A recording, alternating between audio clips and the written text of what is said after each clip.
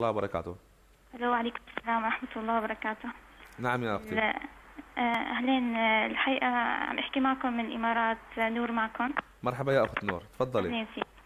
آه، أخ إياد الحقيقة عندي منام هو بخصني وبخص شخص كان حبيبي ظروفه نوع- ظروف صعبة. نعم. شفت بالمنام هذا المشهد الأول. هذا الشخص. نور لو تتكلم من السماعة شيل السماعة. تكلم من سماعة التلفون مباشر.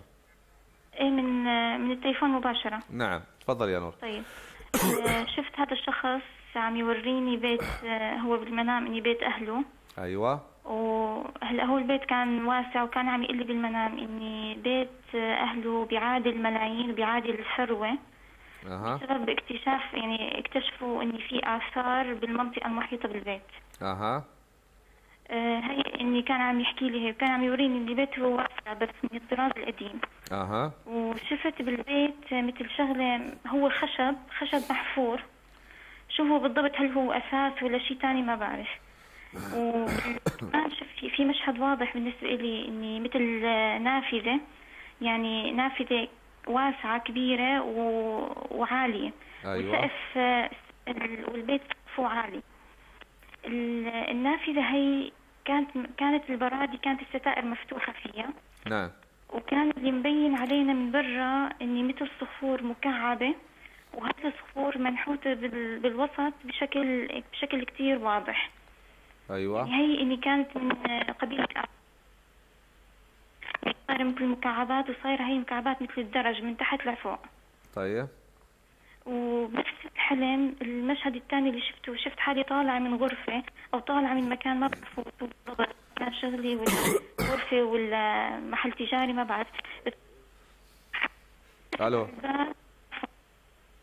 الصوت يقطع يا أخت نور. ألو؟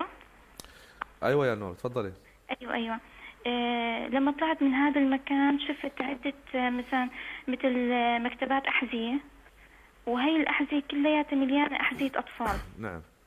بس بهذه اللحظة بحس إني أو بتذكر إني تليفوني أو موبايلي ما معي. بتطلع نعم. عليه على السريع بين الأحذية ما بشوفه. بتذكر إني تركته جوا. برجع لنفس المكان اللي كنت فيه وبلاقي التليفون. وهيك بخلص الحلم هذا الشاب شو بينك وبينه يا نور؟ بخطوبة أو كلام عن خطوبة أو زواج أو معرفة هو عادية؟ هو في كلام بس بسبب ظروفه الصعبة يعني ما مشينا نوعا ما. البيت اللي أنت شفتيه في سوريا ولا هنا؟ ألو. ألو؟ أيوه أيوه. البيت اللي شفتيه مقرة في الإمارات ولا مقرة في دولة ثانية؟ لا هو بالمنام ما بعرف هو هذا المقر وين.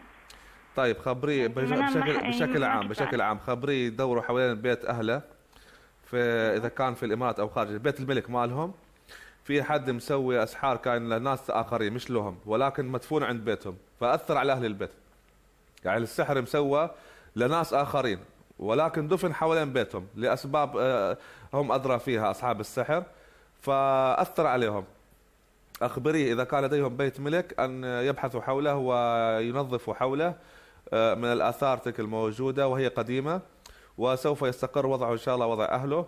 وأخبريه بأن يتوكل الله في مدام أنت في آخر اتصال. كان هاتف في آخر الحلم كان في اتصال أو هاتف حصلتيه. الهاتف دلالة على أنه سوف يأتيك منه خبرا. خبرا إن شاء الله يسعدك ويقربك منه بالحلال إن شاء الله.